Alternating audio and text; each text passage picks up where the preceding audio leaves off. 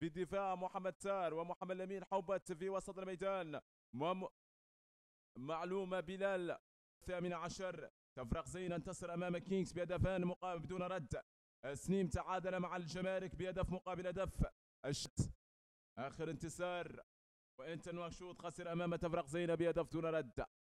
هنا التسديدة القوية والأول يضيع على فريق كينجز. هذا هو تودا أخطر البشر داخل الميدان. الكرة ملعوبة من جديد. تودا ممتاز الكرة. خطيرة التسديدة ولكن القرار لم يكن سليم. هذه الكل حاضر فوق المدرجات. من أجل مشاهدة مباراة بين أبناء العاصمة نواكشوط وعلى هذه المباراة يعشق فيها الشباب مشاهدة كرة القدم. هنا كرة خطيرة جدا خطيرة جدا تسديدة ولكن عالية. عالي عالي لا جديد إلى حد الآن. أمور الشوط الأول ينتهي بتعادل سلبي بدون أهداف بين إنتر نواكشوط وكينغز نواكشوط.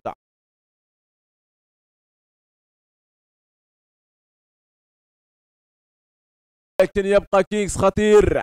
الكرة ترفع. خطيرة من قاسية ويبعاد الكرة من الدفاع بشكل ممتاز. الماضية اليوم يرتدي قميص كينغز أو إنتر نواكشوط ولكن ممثلا للميناء. وهنا الكرة خطيرة جدا. الأول للانتر نعم. فعلها الأزرق في هذه اللحظات. هدف أول بأقدام الفنان. بأقدام من مهاجم تشيرنو جرا يا له من تكتيك كبير من المدرب أنغان. أين هذه العرضية أين المتابعة؟ الدفاع. ترك المساحة. وتشيرنو كان في المكان المناسب.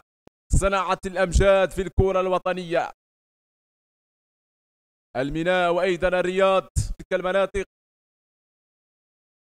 الميناء والرياض. وأيضا لكسر وهنا الثاني قد يكون ولكن باكن جاي في هذه المرة. الكرة تلعب خطيرة جدا والتعادل التعادل يضيع على الملوك. أي ارتقاء وأي محاولة كادت أن تقتل أحلام فريق نادي إنتر نواكشوط عادت من جديد الانتر الكرة تعود خطيرة تسديدة والجول والكرة ضاعت. ضاعت وإذا لم يصفر حكم اللقاء والآن أعلنها الحكم. وفريق إنتر نواكشوط يحقق انتصار ثمين على كينغز نواكشوط داخل ملعب الشيخ بيدية بهدف رد.